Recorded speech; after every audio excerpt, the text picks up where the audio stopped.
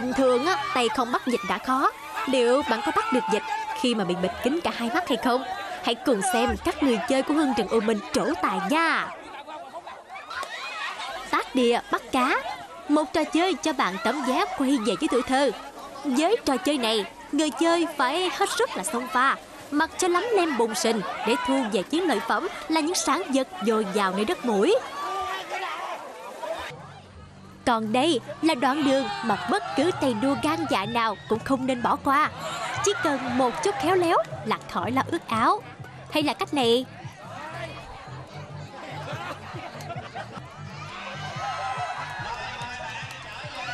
Hmm, coi bộ cũng ổn đó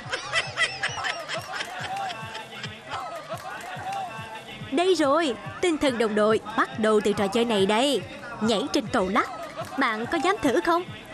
Trên nền nhạc đầy vui nhộn Người chơi phải hết sức uyển chuyển Giữ thăng bằng nè Rồi tìm mọi cách triệt hạ đối thủ Vậy là thắng rồi đó Trò chơi này rất là vui à, Tạo được sự à, tính đoàn kết Cảm giác mệt Uống nước hơi nhiều Hôm nay được gặp rất là nhiều bạn và được thi đấu giao lưu với nhau cho nên cảm thấy rất là vui ạ. À. Đây đây đây đây Chèo xuồng bằng sào là xưa rồi. Thử chèo xuồng bằng tay xem sao. Một á, là giải đích trong sự hò reo nồng nhiệt của người cổ vũ. Còn hai là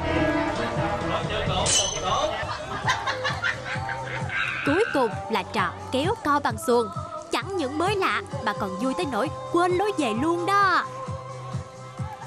Em rất là vui nhưng mệt. Hai đứa mình đưa hai tay sâu xuống mình bường ơi Em đi chơi vui là chính nhưng mà em lấy giải là 10 sau 3 năm triển khai chương trình Cà Mau điểm đến, du lịch Cà Mau đã có những bước chuyển biến lớn trong việc kích cầu du lịch, tạo ra hình ảnh thương hiệu đặc trưng của vùng đất miệt vườn sông nước miền Tây.